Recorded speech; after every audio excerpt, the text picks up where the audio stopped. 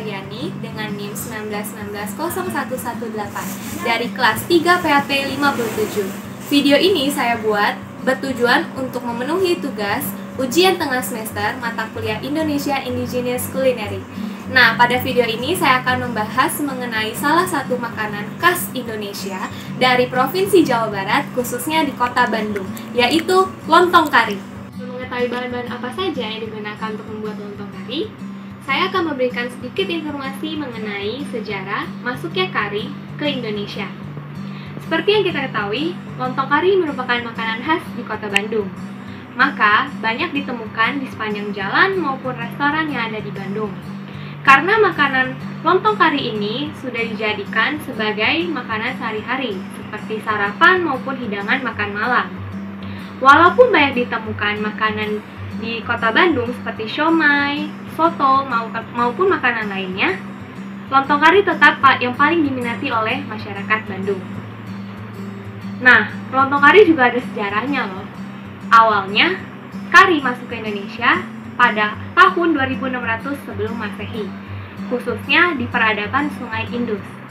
Hal ini dapat dikatakan demikian karena penelitian menemukan alu dan lumpang yang digunakan sebagai alat tumbuh rempah-rempah dalam pembuatan kari India ini. Nah, kari, kari sendiri bisa masuk ke Indonesia karena dibawa oleh biarawan Buddha yang melakukan perjalanan dari timur ke Indonesia. Nah, Walaupun kari sendiri merupakan makanan khas Bandung, kari juga dapat ditemukan di negara lainnya, misalnya Malaysia. Tetapi terdapat perbedaan utama antara kari Indonesia dan kari Malaysia yang terdapat pada bumbunya. Bumbu kari Indonesia tidak menggunakan bumbu eksotis, seperti terasi maupun asam kandis yang digunakan di kari Malaysia. Selain itu, lontong kari Indonesia juga dihidangkan menggunakan lontong. Adapun bahan-bahan untuk membuat lontong kari ini antara lain daging sapi, daun salam, daun jeruk, kayu manis, serai, santan kental, santan cair, dan air kelapa. Selain itu untuk membuat bahan-bahan bumbu halusnya terdiri dari ketumbar, jinten, cabai merah, jahe, bawang putih, bawang merah, kunyit, dan kemiri. Sekarang saya akan memberikan beberapa langkah dalam memasak lontong kari yang cukup mudah dipraktikkan di rumah. Yang pertama, haluskan semua bahan yang terdiri dari bawang merah, bawang putih, cabai merah, jintan, ketumbar, kemiri, jahe, dan kunyit. Langkah yang kedua, geprek serai atau memarkan serai, panaskan minyak Panaskan minyak di wajan, lalu masukkan selai ke dalam wajan. Langkah ketiga, masukkan bumbu yang telah dihaluskan dan juga daging sapi yang telah direbus terlebih dahulu. Langkah selanjutnya, masukkan air kelapa. Gunanya air kelapa di sini adalah untuk mem memberikan rasa gurih serta manis dan juga mengempukkan daging sapi. Langkah selanjutnya, masukkan daun jeruk, daun salam, dan juga kayu manis. Jangan lupa juga masukkan santan cair. Santan cair di sini berfungsi untuk menghilangkan bau amis pada daging dan juga memberikan rasa gurih terhadap kuah kari. Dan langkah yang terakhir, masukkan santan kental. Gunanya adalah untuk mengentalkan kuah kari yang sudah dimasukkan dengan santan cair yang bertekstur lebih cair agar lontong kari memiliki tekstur kuah yang lebih kental seperti khas pada makanan lontong kari di Bandung ini. Dan jangan lupa juga hidangkan dengan lontong. Lontong kari pun siap dihidangkan. Setelah mengetahui bahan serta langkah yang dibutuhkan dalam pembuatan lontong kari, sekarang saya akan menjelaskan sedikit bahan apa saja yang termasuk dalam kategori rempah dan bumbu. Karakteristik rempah sendiri itu lebih tahan lama jika dibandingkan dengan bumbu. Selain itu, rempah biasa dihasilkan dari akar, biji, dan kulit kayu. Nah, bahan apa saja sih yang termasuk dalam rempah? Yang pertama ada kemiri, kedua ketumbar, ketiga jintan, keempat jahe, kelima kunyit, keenam kayu manis. Kemiri dan jintan di sini digunakan sebagai pemberi aroma pada masakan lontong kari.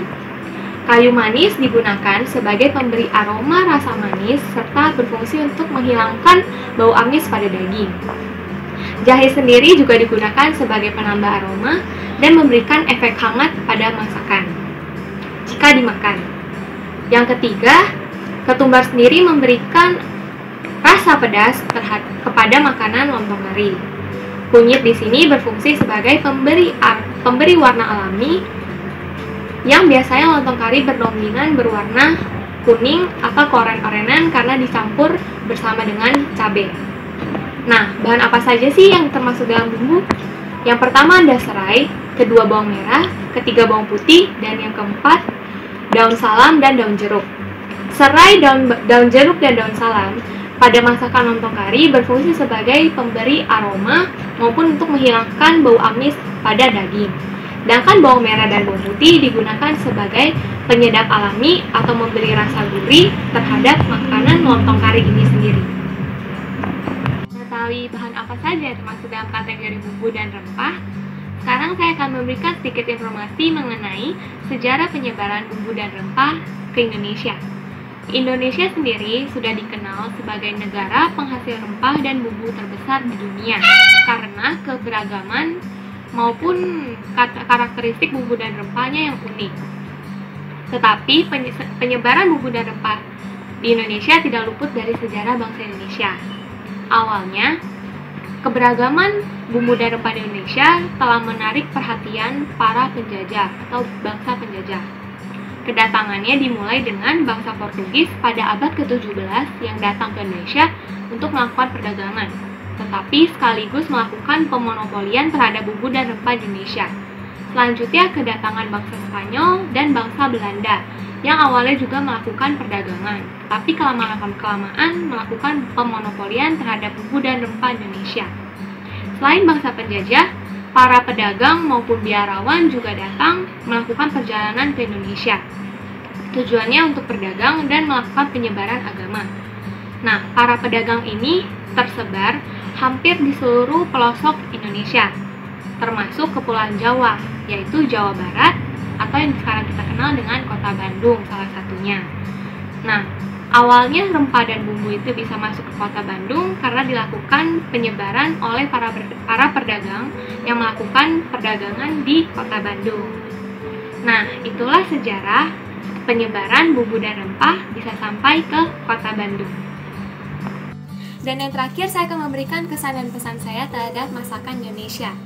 Yang pertama, saya akan memberikan kesan terlebih dahulu. Kesan saya terhadap masakan Indonesia adalah masakan Indonesia sangat kaya akan cita rasa karena terdapat bumbu dan rempah di dalamnya yang sangat beragam.